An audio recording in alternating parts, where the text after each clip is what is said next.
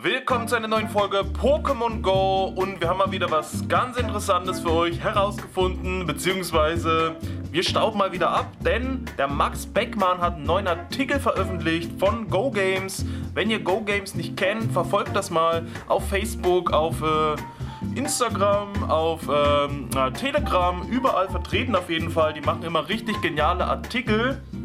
Also checkt das unbedingt mal ab. Denn die haben wieder einen Artikel gemacht, die wichtigsten Pokémon der fünften Generation, Teil 1 und 2. Und den ersten Teil habe ich mir nicht angeguckt, habe gedacht, nee, ich will mich überraschen lassen, wirklich, wenn die Pokémon da sind. Heute kam der zweite Teil, wurde veröffentlicht und ich habe gedacht, guckst doch mal drauf, was da dabei sein könnte, denn heute ging es um die legendären und das hat mich dann natürlich so interessiert, als ich gesehen habe, was da für Teile dabei sind und auch wie viel WP die erreichen können, dass ich dachte, wir gucken uns die trotzdem mal gemeinsam an.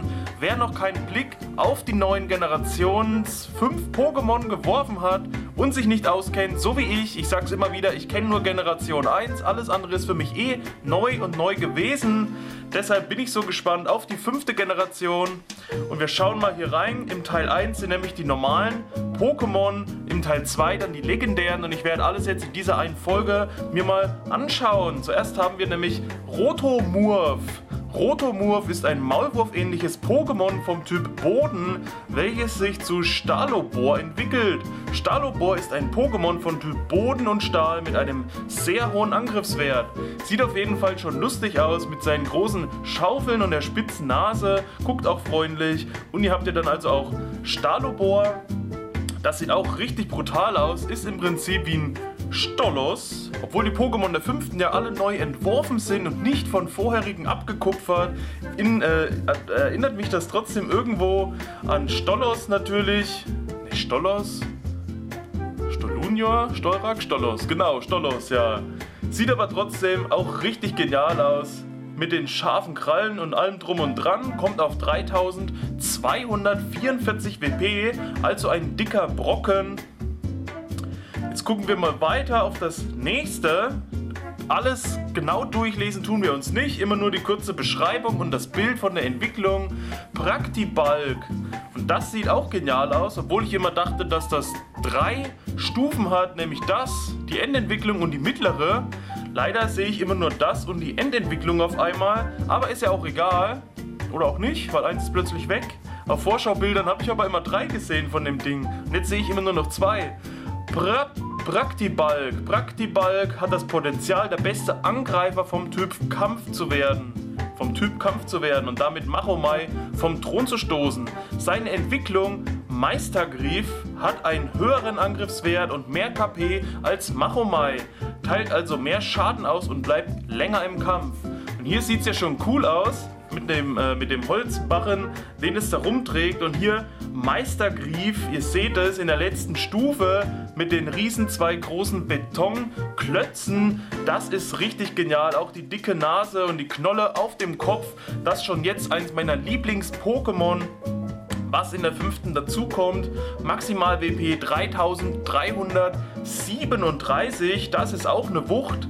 Und vor allem finde ich, es hat irgendwie Ähnlichkeit auch mit äh, Mundtier, Bummels, Letterking, als ob es irgendwie verwandt wäre mit dem irgendwie der Onkel oder so, mal un unabhängig vom Typ, aber vom Design her ein bisschen. Dann haben wir hier als nächstes Flapterix, wenn man das so ausspricht. Bla bla bla bla bla bla. Das ist also das Aerodactyl, ne? Ganz, ganz klar. Das davor war Bummels, das ist jetzt das Aerodactyl. Flapterix ist die Basisform von Aeropteryx, einem Fossil-Pokémon der fünften Generation. Wie vom Namen her schon fast eindeutig ist Aeropteryx angelehnt an den Dinosaurier Archeropteryx, welcher als Urvogel bezeichnet wird, da die fossilen Überreste Federn aufweisen und dieser Saurier somit den Übergang zwischen Dinosauriern und Vögeln darstellt. Aeropteryx ist also auch optisch an einen Flugsaurier angelehnt. Wie die meisten fossilen Pokémon ist auch Aeropteryx vom Typ Gestein und als Flugsaurier zusätzlich vom Typ Flug. Sieht, eine Mischung aus, äh, sieht aus wie eine Mischung aus Porygon und äh, Aerodactyl, aber nur wegen den bunten Farben. Das hat dann, wenn es entwickelt ist, Aeropteryx 3331 WP Oh, sieht ziemlich schwergängig aus, wie das hier in der Luft hängt, aber cool, dass sich das auch bewegt und man da einfach mal was sieht. Auf jeden Fall auch ein sehr interessantes Pokémon. Sieht aus, als hätte es einfach so einen beigen Pullover an und Fußfesseln. Dann gucken wir weiter, was haben wir noch dabei? Was gibt es hier? Lichtel! Und Lichtel, das sieht total unscheinbar aus, also kann man sich gar nicht vorstellen, dass das brutal sein soll. Lichtel ist ein kerzenähnliches Pokémon vom Typ Geist und Feuer, welches sich zu Skelabra, also Abra, nur mit Skel davor, Skelabra entwickelt. Skelabra ist einem Kronleuchter nachempfunden und ersetzt Gengar als stärksten Angreifer vom Typ Geist, da es einen höheren Angriff hat und etwas mehr Verteidigung. Giratina in seiner Urform ist allerdings nach wie vor der Angreifer vom Typ Geist mit sehr ausgewogenen Werten. Die Attacken Bürde und Spukball sind beide im Move, Pool, im Move Pool von Skelabra vorhanden. Und das seht ihr hier, also der Kronleuchter mit den richtig genialen äh, Spuk, Geist, Feuer, Fontänen, die da herausströmen. Maximale WP 3268. Und das sieht schon cool aus als Geist-Pokémon. Das ist klein und süß. Das sieht aber richtig heftig aus. Als Geist würde das natürlich einen richtig guten Eindruck machen. Dann haben wir hier Ignivore. Ignivore ist eine Käferlarve, die sich zu Ramott entwickelt einer großen Motte vom Typ Käfer und Feuer. Zum Glück nicht zu Ramon, sondern nur zu Ramott. Und die sieht dann so aus. Die hat aber den dicken Hintern und maximal WP 3632. Das ist brutal. Was soll das sein? Das ist ja, das, das ist doch nicht mehr normal, oder?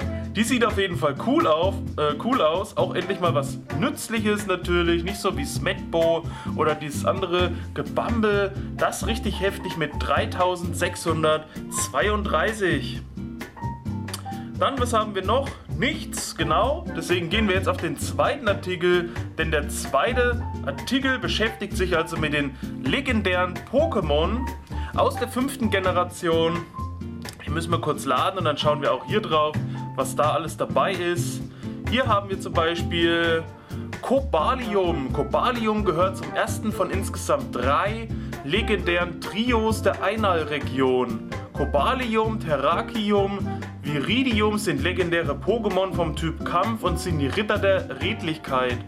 Das ist also dann so ähnlich wie die Raubkatzen oder wie die Vögel könnte man nehmen, immer so, dass es äh, drei zusammenhängende sind. Sein Name bezieht sich auf die blaue Farbe Kobalt. Kopal, Kobalium ist ein Pokémon vom Typ Kampf und Stahl.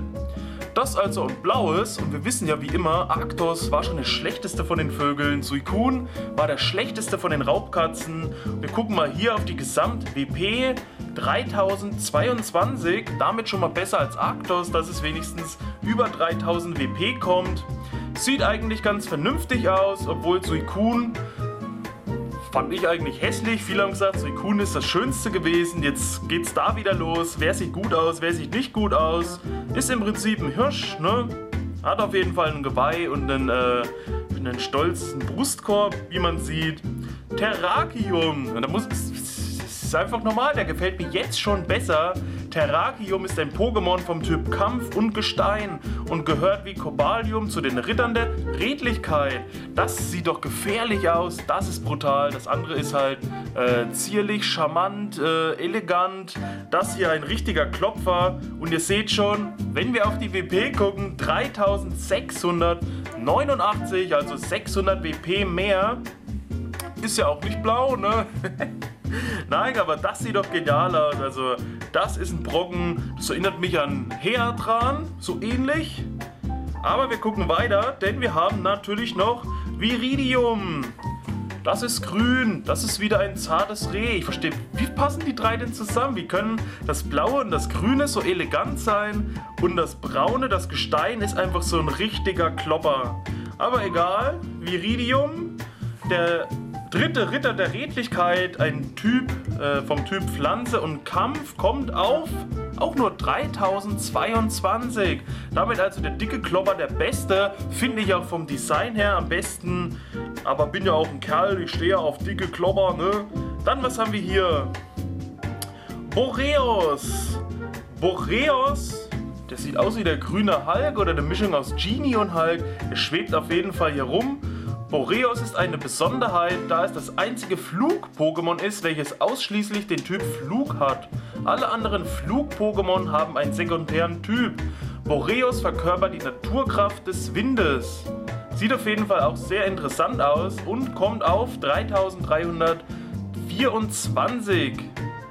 Mhm, mhm, dann haben wir hier Boreos Tiergeistform. Also sieht dann aus wie ein Greifvogel.